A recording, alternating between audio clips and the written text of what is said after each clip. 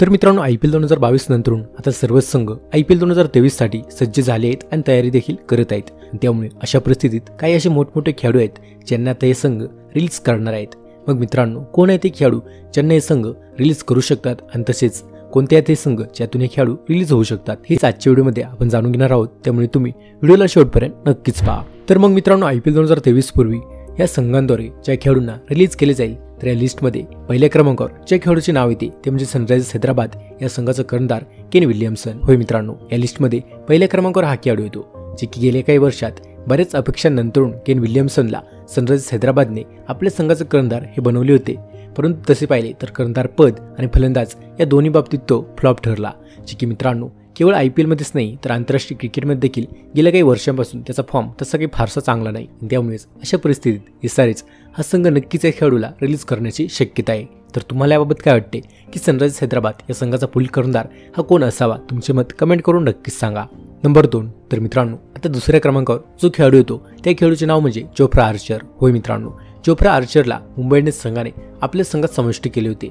परंतु एकही सामना न खेळलेल्या आर्चरला येथे दुखापतीची समस्या ही सातत्यानेच वाढत आहे. त्याची इंजुरी ही सतत वाढत आहे आणि त्यामुळेच आता हा गोलंदाज टी ट्वेंटी वर्ल्ड कपमध्ये देखील खेळणे थोडे कठीण दिसून येत आहे. कारण मित्रांनो त्याच्या फिटनेसमुळे त्याला अनेक समस्यांना तोंड द्यावे लागत आहे आणि अशा परिस्थितीत आय पी एल पूर्वी तो इंजुरीमधून बाहेर आला तरीही मुंबई इंडियन्स संघ त्याला इंजुरीतून बाहेर आल्या आल्या खेळणार नाही. आणि त्यामुळेच आय पी एल पूर्वी येथे मुंबई इंडियन्स संघ जोप्रा आर्चरला रिलीज करू शकतो आणि त्यासोबतच पुन्हा एकदा त्याला आपल्या संघात कमी प्राईजमध्ये घेण्याची शक्यता आहे.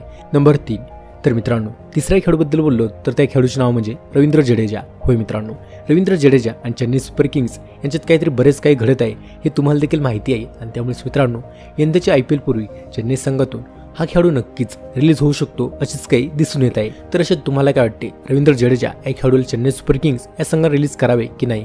तुमचे मत कमेंट करून नक्कीच सांगा. नंबर चार तर मित्रांनो तर शेवटच्या आणि चौथ्या क्रमांकावर जे खेळाडूचे नाव येते त्या खेळाडूचे नाव म्हणजे डेव्हिड ऑर्नर. होय मित्रांनो गेल्या काही वर्षी डेव्हिड ऑर्नरला येथे दिल्ली कॅपिटल्स या संघाने मोठ्या अपेक्षेने विकत घेतले होते. तसे पाहिलं तर त्याचा फॉर्म हा देखील थोडा चांगला होता.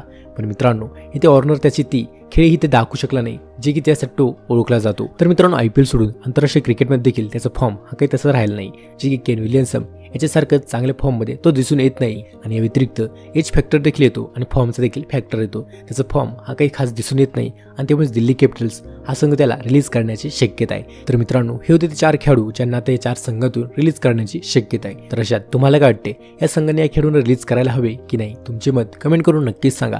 तसेच माहिती आवडल्यास व्हिडिओ लाईक करा आणि आपल्या युट्यूब चॅनलला सबस्क्राईब करायला विसरू नका. आजच्या व्हिडिओमध्ये एवढंच. भेटूयात पुन्हा एकदा. अशीच काय माहितीपूर्वक व्हिडिओमध्ये